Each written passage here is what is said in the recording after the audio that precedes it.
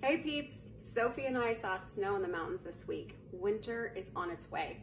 For some of you, you may be excited to hit the slopes and enjoy the snow, and others might be a little anxious about the low mood and maybe already experiencing it with the shorter days.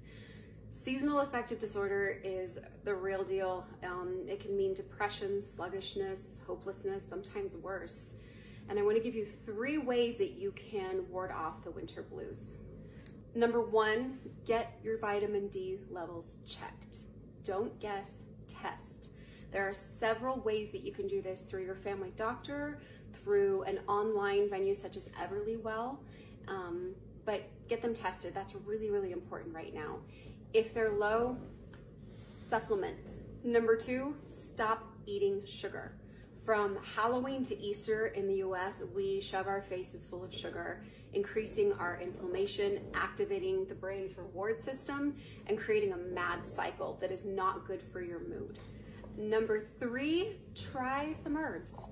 Um, I'm not a fan of antidepressants, pharmaceuticals.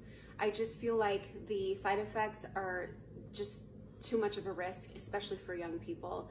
Um, I have really had good luck with St. John's wort, and this particular company does an excellent job with an extract that is potent enough to feel a difference. So get on it, get your vitamin D levels tested, stop eating sugar, and try some St. John's wort.